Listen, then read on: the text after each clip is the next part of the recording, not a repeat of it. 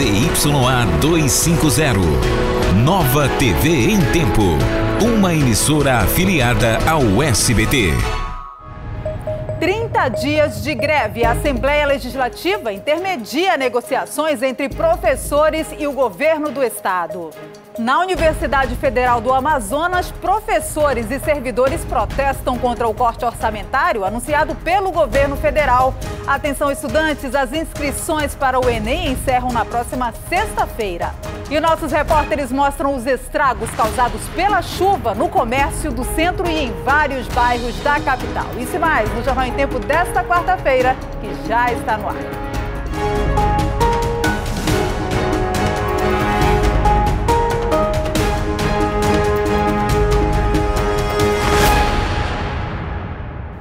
Boa noite para você. Um acidente agora no fim da tarde deixa o trânsito bastante complicado na Avenida Paraíba, zona centro-sul aqui de Manaus. Um poste caiu em cima de um carro. Vamos lá para o local falar ao vivo com Valdir Adriano para saber como é que está a situação por aí, Valdir. Muito boa noite para você.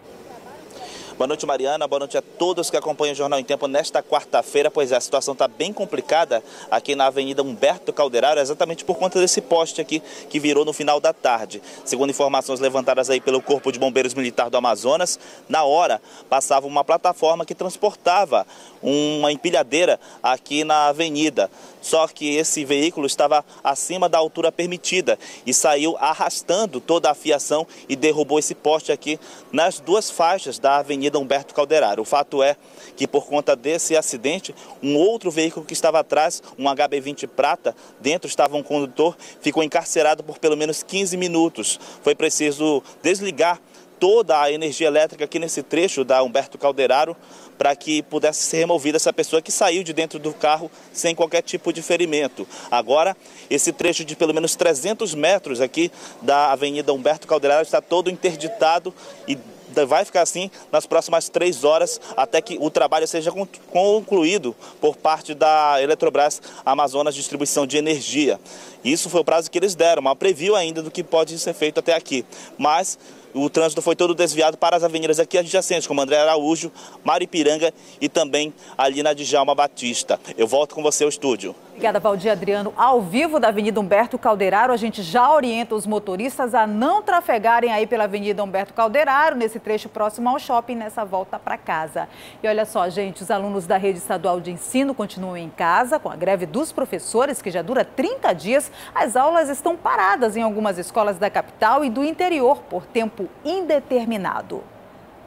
É em casa que o Breno passa a maior parte do dia. O tempo que ele tem, gasta estudando. Mas só o conteúdo que viu há um mês atrás. Depois que a greve foi iniciada, o aluno do nono ano não aprendeu mais nada de novo. Todo esse tempo sem aula acaba prejudicando a gente, porque quando a gente voltar, a gente não vai andar normalmente como seria as aulas dia a dia. A mãe do Breno está preocupada. Com os estudos atrasados, o filho pode ter desvantagem no futuro frente a outros alunos. Estou fazendo de tudo para que ele vá para cursinhos, né? Fazendo um outro tipo, uma, outro tipo de atividade justamente para que ele não fique nessa ociosidade que com certeza muitos desses adolescentes, dessas crianças estão sofrendo. Nesta escola, no bairro Santo Antônio, alguns professores não aderiram à greve. Por causa de profissionais como Pedro, as aulas na instituição ainda funcionam de forma parcial. Se você observar a proposta, tem avanços, os avanços possíveis.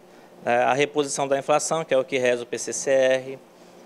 Você tem a, o cumprimento de, de legislação que não tem sido implementada como deveria, como por exemplo a questão das progressões, a questão do, do, auxílio localidade. Duas frentes sindicais fazem protestos e respondem pela greve. O Sindicato dos Trabalhadores em Educação do Amazonas, o Sinteam, e o Sindicato dos Professores e Pedagogos de Manaus, o ASPROM, pedem 15% de reajuste salarial.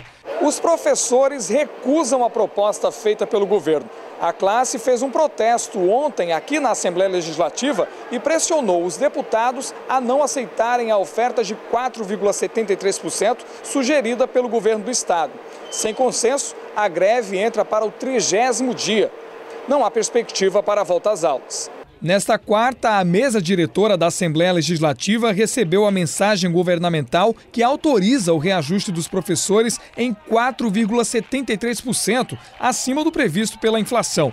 A proposta deixa de fora algumas cláusulas consideradas importantes pela classe. E nós vamos fazer uma apresentação de contraproposta ao governo do Estado, para que se mantenha o diálogo e para que não seja ainda votado aqui na Assembleia Legislativa o projeto que o governador encaminhou para essa casa no dia de ontem. Pela manhã, uma reunião entre professores e deputados da Comissão de Educação aconteceu na Assembleia. O presidente do Legislativo, Josué Neto, disse que a casa está mediando o diálogo entre categoria e governo. Nós já escolhemos um representante do governo para tratar com colegas deputados e para tratar com os representantes dos sindicatos. Né? Esse representante do governo é o secretário de Fazenda, Alex Deudiglio, que é uma pessoa que eu tenho certeza que vai contribuir, né?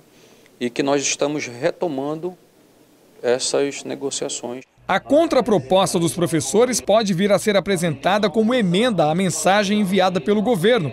Isso caso o executivo não envie um novo parecer ao legislativo. As aulas estão paralisadas em 46 municípios do estado e na maioria das escolas da capital. O governador Wilson Lima falou sobre a greve na manhã desta quarta-feira nós estamos garantindo uma reposição salarial de 4,7, garantindo o pagamento das promoções horizontais e verticais e também dobrando o auxílio localidade. É o máximo que o governo do estado pode fazer. Eu tenho implicações com a lei de responsabilidade fiscal e qualquer aumento que eu der, além disso, qualquer percentual, eu vou ser enquadrado pela legislação. Professores, alunos e técnicos da Universidade Federal do Amazonas protestaram hoje contra o corte orçamentário nas universidades federais de todo o país, que foi anunciado pelo presidente Jair Bolsonaro. Nem a chuva forte impediu que centenas de manifestantes participassem do ato denominado Grito pela Educação, que começou por volta das 7 horas da manhã.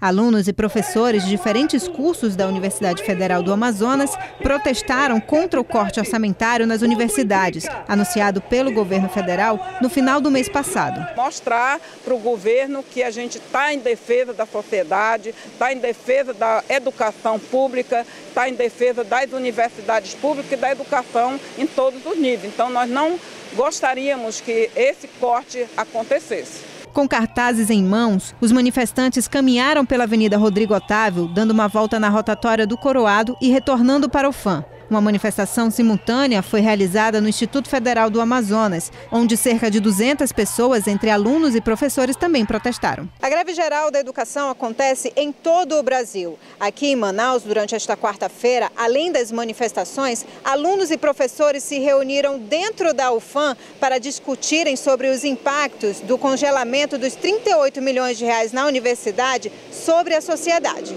A gente compreende que não existe uma nação desenvolvida, mais democrática, sem uma universidade capaz de propor esses modelos de ciência, de tecnologia e conceitos que pensem a democratização do país. As manifestações foram pacíficas. Houve congestionamento no trânsito, mas os agentes do Manaus Trans estiveram no local para controlar o fluxo. Pois é, e não para por aí não. Hoje à tarde, os universitários e servidores da UFAM voltaram a reunir, dessa vez no centro de Manaus. Quem acompanha ao vivo é Luiz Rodrigues, que está na Praça do Congresso. Boa noite, Luiz.